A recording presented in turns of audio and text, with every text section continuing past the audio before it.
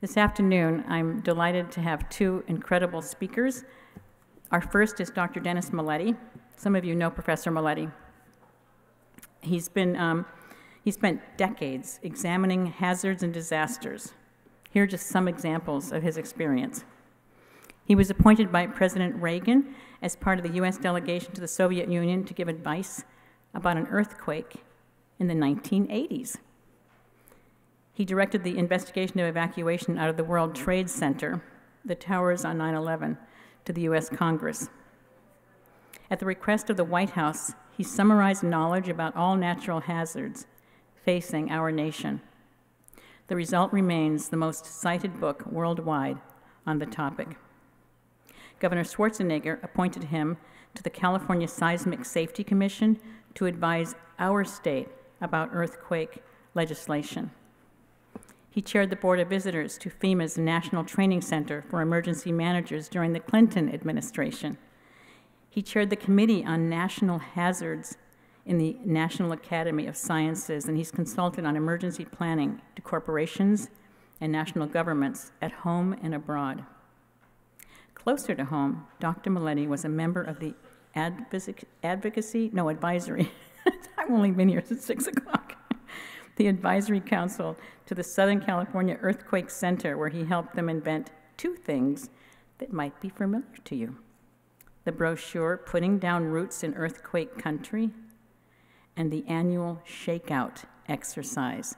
And we are so lucky to have Dr. Mileti living in Rancho Mirage. Otherwise, we'd have to pay a fortune. And we get him for free. Please welcome Dr. Mileti.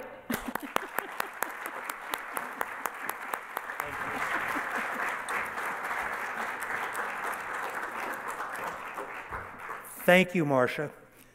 Marcia and I are friends, and she knows many things about me.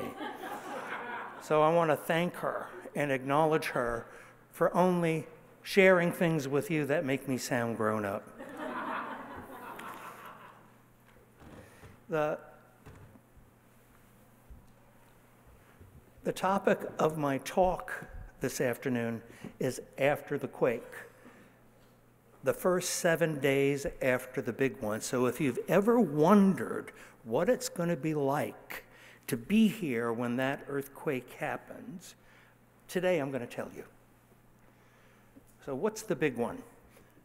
The big one is an earthquake that's going to shake harder than anyone alive in California has ever experienced.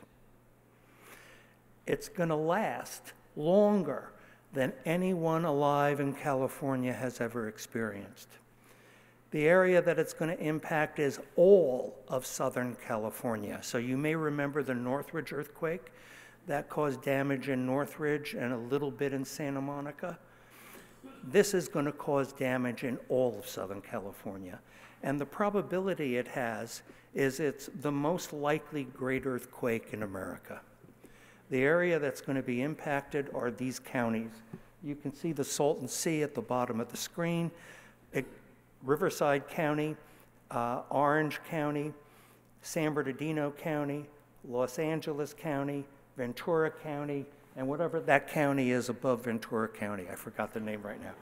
Uh, the technical basis for what I'm going to share this afternoon are damage estimates that were put together for this earthquake by earth scientists and engineers, uh, estimates of public behavior by social scientists from all past earthquakes ever investigated, and government response estimates by the State Office of Emergency Services and the California Seismic Safety Commission.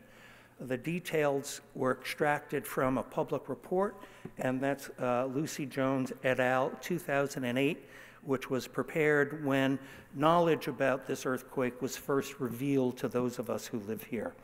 Uh, and the contents of that report from which this talk comes was endorsed by everyone but God. When disasters happen, there are 17 traditional emergency response functions that governments have in their emergency response plans. All governments have them in their emergency response plan. Uh, media coverage, search and rescue, medical services, sheltering, fire suppression, uh, traffic management, uh, emergency operations centers, communication. I'm not going to cover all 17. We're only going to go over some because I only have half an hour to present this. The first thing I want to talk about is media coverage. Okay, put on your seatbelts. You're going on the earthquake ride. The first five minutes after the ground stopped shaking, all operable media in Southern California will switch to ongoing coverage on every channel on television. People who went through the earthquake will turn on the working electronic media if they have access to it and start talking about what they just experienced with people close to them. In 30 minutes, the media will be mobilized and report on local incidents. And scientists like Lucy will be at Caltech describing it to whoever it is that can receive the transmission. The average person in the first half hour is going to invo be involved in massive information seeking and make attempts to contact other people. Most of the attempts to contact other people will be frustrated. And people will begin to realize in the first half hour the true scope of the event. Two hours after the ground stops shaking, there'll be ongoing coverage. And the ongoing coverage, which will be nationwide, will focus on big urban collapses. The national media will be mobilized and governments will give guidance. What big urban collapses? The major high rise buildings in downtown Los Angeles that collapse. There'll be several that do. In the first two hours, most of the information people who went through the event will get will come from radios. And people will begin shifting their perceptions from one of thinking about themselves to one of feeling quite generous and altruistic because they're going to get that all of Southern California is a victim. And 24 hours, FEMA will be focused on Los Angeles due to the media reports. Information centers and governments will open from Sacramento to the counties, etc. Rumors will emerge among the people who live here. And there's going to be wide variation in the quality and accuracy of information that's being provided to the public. Local media will actually be giving much more useful information than state or national media. National media will be reporting on casualties. The number of casualties reported will far exceed the number of casualties that actually exists, and they'll be discussing the governor's pending visit. One week after the event, people will be reporting on aftershocks, high profile damage, and talking about individual heroism stories. Persons who live like us in our normal houses will be uh, talking about fear of looting. Uh, the media will be fueling rumors about looting and government, particularly in Sacramento, will be stepping up vigorous efforts to stamp out misinformation and rumors. What will those of us who live here wish we had done? We'll wish we had bought a battery or crank operated radio or radios. We'll wish we had more batteries. We'll wish we had satellite telephones. We'll wish we had solar car chargers for small devices and car chargers. We'll wish we had spent the money to buy a mechanism to talk to the people we love who are separated from us when the earthquake strikes. And we'll wish we learned how to tell rumors from facts and what to expect about public shelters. Search and rescue. My pictures, by the way, are all of California earthquakes. This is the Loma Prieta earthquake in 1989. In the first five minutes after the ground stopped shaking, there will be no search and rescue efforts undertaken. The first search and rescue efforts begin in that first five minutes, but they'll be begun by victims who will search for people who might be in bad shape in close vicinity to them. In half an hour, local search and rescue teams will mobilize in areas that have search and rescue teams, and national search and rescue teams will be notified.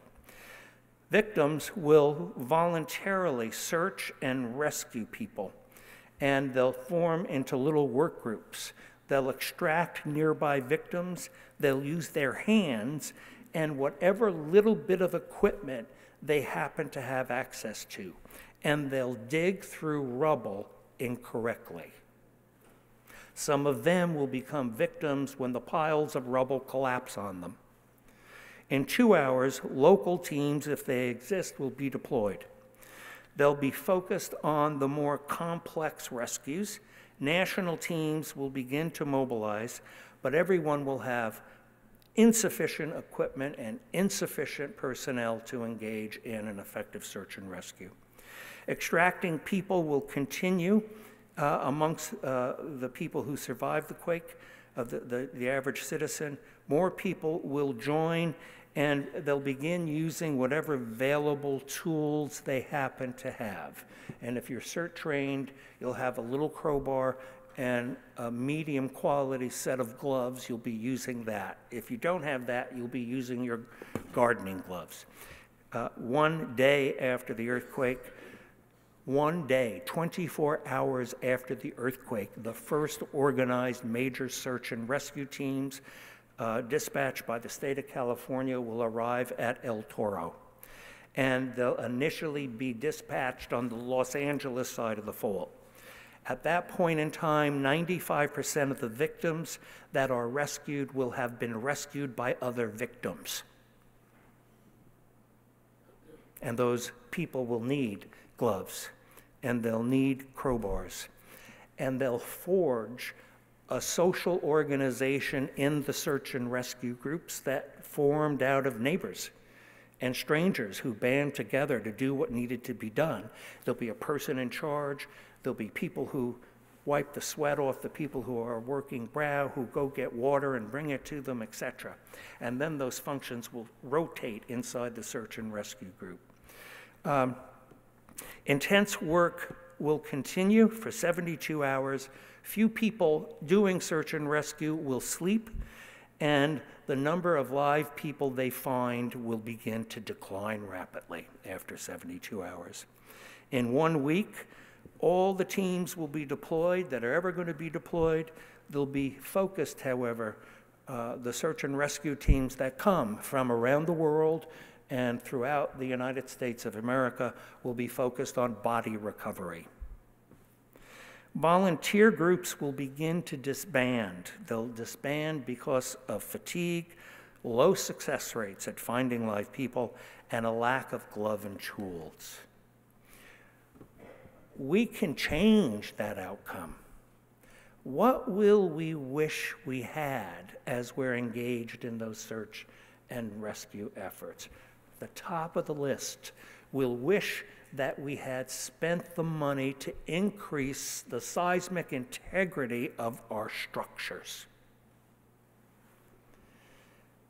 We'll wish we had really heavy duty work gloves and several pairs. We'll wish we had more crowbars, long ones, because you get better leverage. We'll wish we had heavy duty first aid supplies. And we'll also wish we had sunblock, hats, canteens, and energy bars. We'll wish we had learned CERT training, and we'll wish we had learned how to dig through rubble. These are all things that can be done ahead of time. We can actually change the outcome by doing what we call preparedness. Oops, medical services.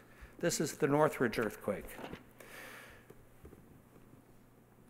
In the first five minutes, the people who go through the earthquake will che- check for injuries to themselves and others close by. In the first half hour, people will assess damage and uh, in uh, hospitals and off-duty staff will converge on to go to the hospital. Every off-duty worker at a, a- a medical facility will flood the medical facility. Um, Some medically trained residents will volunteer to provide uh, medical treatment in the street. Others won't because they'll fear being sued and liability. Uh, And first aid will be delivered throughout Southern California by uh, victims. In the first two hours, uh, staff will arrive at all the major hospitals throughout Southern California. Outside triage will begin, just as it did in Northridge. Um, And medical transport, getting people to the hospitals, will be at best difficult and most likely impossible. What will people do? People will volunteer to assist organized medical response. People who are not injured will go to the hospital to help the people in the hospital, which will become a problem for them. Uh, They will transport injured in a non-uniform way on hospitals, because in disasters, people bring people they live next door to and people they love to the hospitals they know about. I only know about Eisenhower. So if I'm transporting somebody to a hospital, I will go to Eisenhower, as will everyone in the general vicinity of Eisenhower Hospital. Hospitals I don't know about will not get any victims. And so it's going to be way out of balance. Uh, the state will manage available medical services. Medical teams the, at the end of the first day again will arrive at El Toro. High damage hospitals will be evacuated. We'll begin the medical evacuation of non quake patients outside of the area and outside of California. Um, There'll be a non-uniform influx of victims, many with crushed muscles, broken bones, and other forms of trauma. And medical staff will experience role strain because they'll be at work, working nonstop, and they really want to, in their head, be with their family, but they'll keep working. Um, uh, The average citizen will uh, uh, help contribute to the non-uniform influx of patients to medical centers, and people with first aid training will continue to give aid in neighborhoods. In three days, all seriously damaged hospitals in Southern California will be evacuated. Outside trauma centers will have been set up. Non-quake patients are, will all be med-evacuated outside the area and state. There'll be a massive non-uniform influx of victims with crush injuries, broken bones, and trauma. People will continue to give first aid treatment to people in their neighborhood. One week later, there will be a more uniform distribution of patients across Southern California's hospitals. Uh, and there'll be fewer uh, trauma patients being uh, admitted. And victims uh, who are trained in first aid will continue to do it uh, because of increased injuries that occur from aftershocks. What will we wish we had? We'll wish we had strapped our heavy furniture to the wall, which could have avoided crushed muscles and broken bones. We'll wish we had strapped our heavy appliances to the walls, for that will reduce the number of injuries we'll experience. We'll actually lament that we didn't ever get around to putting earthquake hooks on the things hanging on our walls, because that's, they're going to fly across the room and whack people in the head. We'll wish we had quake latches on our cabinets that can be purchased for $1.29. And we'll wish we had purchased heavy duty first aid supplies. And we'll wish we had learned first aid and CPR. And we also will have wish we had learned not to run outside in an earthquake and not to get in a doorway and not to get in the triangle of life. Sheltering. San Francisco, 1906. In the first five minutes, organized response will do nothing about sheltering. Victims will examine their immediate setting and relocate uh, to somewhere else if they think where they are is unsafe.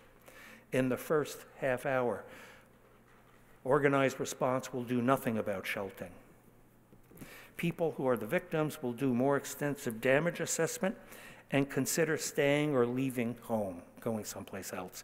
Two hours after the event, there'll be discussions between the Office of Emergency Services at the county level, at the state level, Red Cross, and local government with operable communications to determine the number, locations, and shelter logistics. People will begin to see that damage is occurring from uh, aftershocks and finally make the decision about whether they need to abandon their home or not. 24 hours after the event, a few Red Cross shelters will open at schools, recreation areas, and regional care and shelter task forces will be established to develop strategy, care and shelter locations need to be identified. And throughout all of Southern California, at the end of the first day, you can expect 120 shelters to be up and running. People like us will begin to congregate in unplanned shelters that get set up in parks, vacant lots, and in the street. Many will arrive at the homes of friends and relatives and try to check into hotels. On the east side of the San Andreas, that's us, most people will be camped outside their property and re enter homes for supplies. One bonus we have is a lot of golf courses. That's where we'll be. There it is. There's the slide. Um, could you leave the picture up rather than go to me? Uh, I, I want people to focus on the topic, not me. If you want to look at me, just look. Thank you. Uh, 72 hours later, most Red Cross shelters will be set up, set up throughout the area. Supplies will begin arriving at staging areas and being distributed to shelters. Most shelters will be at capacity. Victims will have many unmet needs. Unplanned shelters will be in need of supplies and compete with organized shelters for what the state can get to us. And the unplanned shelters and even the planned shelters will be populated largely by the poor and families with dependent children. One week later, the regional shelter network will be fully established and up and running. Uh, all shelters that will ever be established will be in place. There'll be a total of 503 shelters throughout Southern California. Unplanned shelters, however, that's groups of neighbors banding together, uh, will increasingly be organized, and supplies will be arriving to where they are one way or another. It'll be spontaneous. What will we wish we had done about shelter? We'll wish we had bought a comfortably sized tent. We'll wish we had bought an extra tent to give the neighbors We'll wish we had ways to light the dark nights. We'll wish we had bought portable air conditioners, ice makers, heating devices, and a power source for them that operates independent of the grid. And we'll wish we had learned how to keep cool and how to keep warm without electricity, a skill people who once lived in the desert, for example, had before electricity was invented. Food and water. San Francisco, 1906. In the first five minutes, victims will check how much water they've got on hand. In the first half hours, people will check to see what stored supplies they have. And if they don't have any water stored, they'll begin to consider what they might do for when they turn on their taps, the only water that'll come out is that which is in any unbroken segment of pipe up to their sink, and it's probably going to be muddy. In two hours, the Red Cross and NGOs will mobilize and begin to identify sources to provide resources to provide to shelters. Regional water needs will be assessed. Nobody's going to be bringing anybody any water. They're assessing water needs. Almost everyone that's a victim will have some food and water at this point. Victims will be sharing food and water with organized responders. Trained Red Cross volunteers will begin to arrive in two hours at staging areas. End of the first day. On the west side, that's LA, organized shelters will be providing victims what they need. On the east side, that's us, it will be very slow to establish shelters, provide food and water and assemble volunteers due to the damage we'll have. They'll lack the ability to get from point A to point B. Uh, victims will begin at the end of 24 hours to need water and look to government to supply it. And also to supply them if they don't have it with supplies. I'm not saying government should supply it, I'm just saying they'll be looking to government for it. Uh, and people will begin to go to grocery and convenience stores to collect needed supplies. Some of them will be labeled looters by the media and local authorities. In the first three days, local, state, and federal governments will coordinate with each other and bring food and water to the region. Some water will begin to arrive, but most will still be en route. Victims, however, will be running out of food and water and making demands on local government. Victims who are still camped out on their front lawns and in golf courses and will, and will be reliant on their own supplies, but they'll be running out of them. At the end of a week, consistent supplies and free water and free food will be coming out of a cornucopia to staging areas throughout Southern California, and it'll be distributed to organized shelters, spontaneous shelters, and people camped on their lawns. Pockets of isolated rural residents will still be without food and water. People where we live at the end of the first week um, who still have supplies will be sharing them with other people and some people will be selling water and supplies at greatly inflated prices. What will we wish we had done? We'll wish that we had what we needed to eat and drink as we lived outside for seven to 10 days. We'll wish we had extras for unprepared neighbors, stranded motorists, and visitors will wish we had learned we really do need to be self reliant. We'll wish we had learned water is for more than drinking. We'll wish we learned that we'd be overwhelmed by our generosity and give most of our stuff away.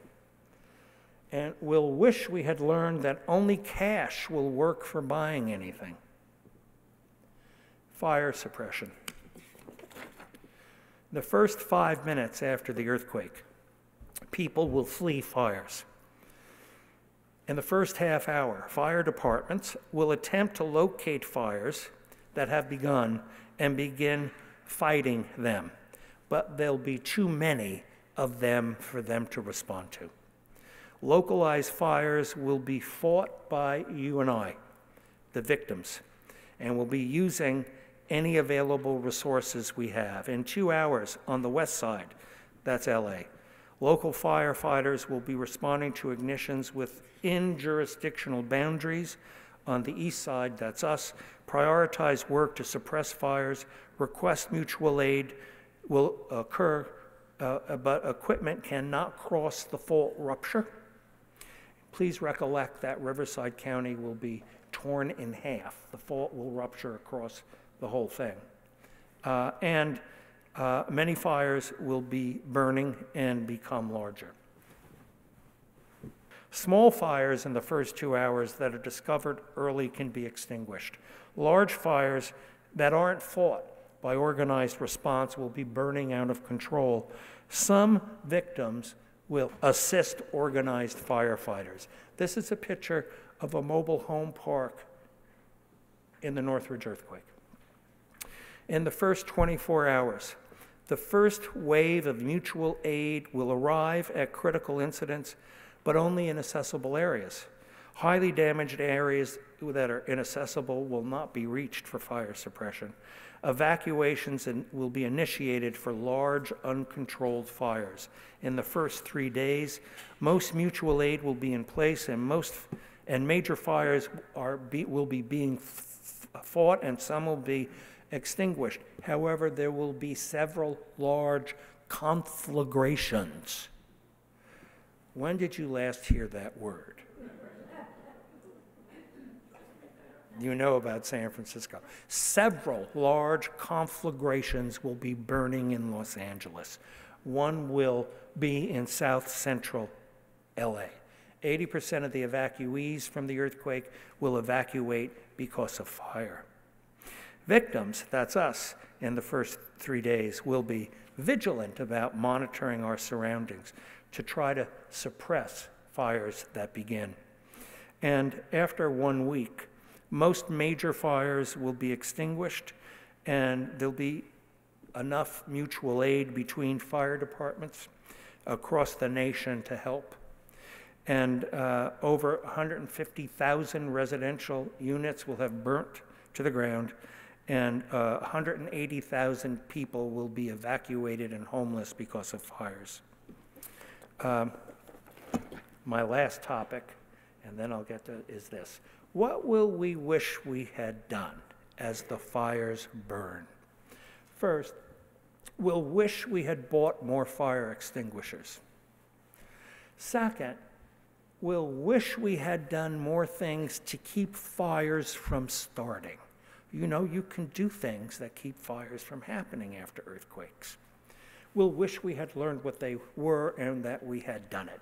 We'll wish we had learned how to keep fire extinguishers working. You know, they don't sit in a closet for three years and work. You've got to do something to keep them working. Uh, we wish, we'll wish we had learned how to prevent electrical and gas fires. We'll wish we had learned how to enhance mobile home safety. That particular home type is the most vulnerable to fire. Uh, we'll wish we had learned how to quickly and safely extinguish fires, another skill that's part of the things you pick up in CERT training. And we'll wish we had learned, particularly those of us in the desert, how to prevent fires in empty houses for the snowbirds that aren't here when the earthquake happens. And we'll wish we had learned that we needed to get ready for fires as much as shaking. Route recovery. This is the Northridge earthquake. Do you love that? Imagine looking, I'm looking for photographs about route recovery, and I find one that says Los Angeles city limit and the bridge is down. Just what a find that was. I was so happy when I found that. In the first half hour, most route obstacles will be reported, and people that have heavy equipment will be trying to locate it to remove the rubble. Uh, what the average person will be doing is attempting to get home to reunite with the people they love. But they're going to encounter obstacles on the road, and they're going to encounter traffic jams, and some of them will be stranded on roads due to the obstacles, road damage, and bridge damage. In the first two hours, most of the major route obstacles will be identified, reported to the Office of Emergency Services, the California Highway Patrol, Caltrans, etc. They'll all work together to make priorities about what they do first. And agencies will be well aware of stranded motorists on highways that need assistance. Now, imagine I 10 if the traffic can't move. Those are the stranded motorists. Uh, in the first two hours, um, some of the stranded motorists are going to remain in the, their vehicles and others will begin walking. And the, at the end of the first day, critical access routes will have all been identified throughout Southern California. Priorities will be set for debris removal by a transportation task force located in Sacramento uh, where we live on the east side, there'll be little route recovery. Palm Springs Airport will remain open. Okay, you need to be happy about that. The runways will be operable. And the new tower they built, they built as a result of this 2008 report that said the old one would collapse. And so that one should still be there. However, none of us will be allowed to use it. That's going to be the only way anybody's going to be able to get anything here. Stranded motorists at the end of the first day are going to begin to get rescued. They're going to begin to reach us and uh, expect a little help from us, and our generosity will provide it. And a great deal of route innovation will occur. What do I mean by that? A lot of people are going to be riding bicycles. And those of us who own four wheel drive vehicles will be putzing around on them. After three days, access will be restored in most, on most major highways in Los Angeles that were designated a high priority. This state knows how to move when earthquakes happen. And all major airports in Southern California will be functioning, and the LA subway will be back in operation. At the end of one week, greater recovery of secondary streets will have been made. Use of uh, detours will be in place. Some bridges will finally get inspected and opened. Uh, where we are in uh, the east side, I 10 will remain impassable and still will not be able to be crossed. What will we wish we had done to design this horror out of our lives? First, we'll wish we had bought a bicycle with a big basket on the steering thing and a pump to put air in the tires. Second, we'll wish we had a rough terrain vehicle and we'll wish we had parked it outside, despite what the HOA president says. we'll wish we had bought X bracing for our carports because no vehicle under a carport with things that hold it up that look like this will be standing. Anything, any vehicle parked under them, the roof will be on top of the cars, can't drive them. We'll wish we had learned no one is going to be leaving or arriving anytime soon when the ground stops shaking. And we'll wish we had really believed that there'd be very few first responders uh, available to help us. And we'll wish we had known that our garage doors won't open. One conclusion, I'd like to leave you with one conclusion. There's only one takeaway from everything I've said, just one.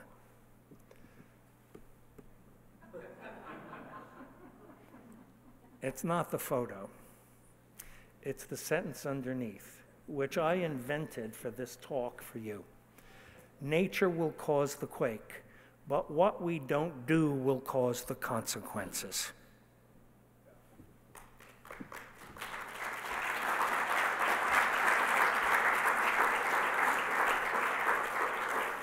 And friends, I invite you to visit ranchomiragepreparedness.org. It's your city's website. It really does contain everything you need to know.